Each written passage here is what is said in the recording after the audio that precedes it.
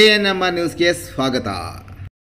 Great India electronics ವತಿಯಿಂದ ದಸರಾ ದೀಪಾವಳಿ ಜೊತೆಗೆ ಮೂವತ್ತನೇ ವಾರ್ಷಿಕೋತ್ಸವದ ಭರ್ಜರಿ ಡಿಸ್ಕೌಂಟ್ ಸೇಲ್ ಆರಂಭ.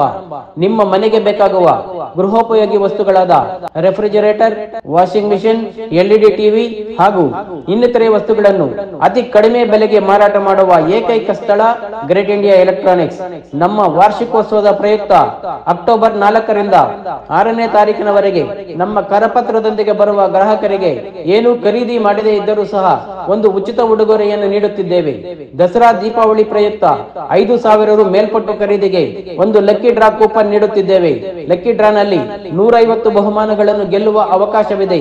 ಲಕ್ಕಿ ಡ್ರಾ ನಲ್ಲಿ LED TV refrigerator washing machine mixer grinder induction stove gas stove cooker kettle iron box chopper tawa wall clock ಮುಂತಾದ ವಸ್ತುಗಳನ್ನು ಗೆಲ್ಲುವ ಅವಕಾಶವಿದೆ. ಇಪ್ಪತ್ತು ಸಾವಿರ ಮೇಲ್ಪಟ್ಟು ಖರೀದಿ ಮಾಡಿದವರಿಗೆ ಒಂಬತ್ತು ಸಾವಿರದ ಇನ್ನೂರ ಐವತ್ತು ಮುಖಬೆಲೆಯ ವಿಐಪಿ ಟ್ರಾಲಿಯನ್ನು ಕೇವಲ ಸಾವಿರದ ಐನೂರ ತೊಂಬತ್ತು ನೀಡುತ್ತಿದ್ದೇವೆ. ಹಿಂದೆ ಭೇಟಿ ಕೊಡಿ. ನಮ್ಮಲ್ಲಿ Bajaj finance TVS finance IDFC credit ಮತ್ತು ಡೆಬಿಟ್ ಕಾರ್ಡ್ಗಳ ಮೂಲಕ ಸುಲಭ ಕಂತುಗಳಲ್ಲಿ ವಸ್ತುಗಳನ್ನು ಖರೀದಿಸಬಹುದಾಗಿದೆ. ಹಿಂದೆ ಭೇಟಿ ಕೊಡಿ. Great India Electronics, Gajanana circle, Chintamani. ಭೂಸ್ಪರ್ಶವಾಗಿದ್ದ helicopter ಚೆನ್ನೈಗೆ ತಾಂತ್ರಿಕ ಎಂಜಿನಿಯರ್ಗಳಿಂದ ವಾಯುಪಡೆಯ ಹೆಲಿಕಾಪ್ಟರ್ ರಿಪೇರಿ.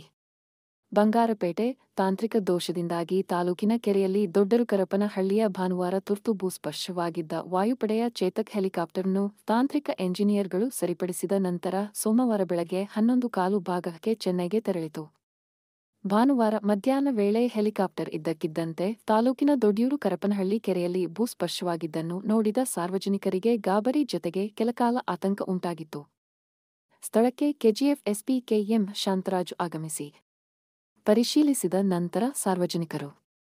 ಬಂಗಾರಪೇಟೆ ಪಟ್ಟಣದ ದೊಡ್ಡರುಕರಪನಹಳ್ಳಿಯಲ್ಲಿ ಭೂಸ್ಪರ್ಶವಾಗಿದ್ದ ಹೆಲಿಕಾಪ್ಟರ್ ರಿಪೇರಿ ಬಳಿಕ ಚೆನ್ನೈಗೆ ತೆರಳಿತು. ಬೆಂಗಳೂರಿನ ಯಲಹಂಕದಲ್ಲಿರುವ ವಾಯುಪಡೆಯ ಆಡಳಿತ ಹಾಗೂ ತರಬೇತಿ ಕಚೇರಿಯಿಂದ ಅಧಿಕಾರಿಗಳು ಸ್ಥಳಕ್ಕೆ ಆಗಮಿಸಿ ಪರಿಶೀಲಿಸಿದರು. ಸೋಮವಾರ ಬೆಳಗ್ಗೆಯಿಂದ ದುರಸ್ತಿ ಕಾರ್ಯ ನಡೆಯಿತು.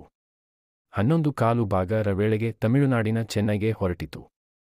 ಹೆಲಿಕಾಪ್ಟರ್ ಭೂಸ್ಪರ್ಶವಾಗಿ ಅಲ್ಲೇ ನಿಂತಿದ್ದರಿಂದ ಪೊಲೀಸರು ಬಂದೋಬಸ್ತ್ ಕೈಗೊಂಡಿದ್ದರು.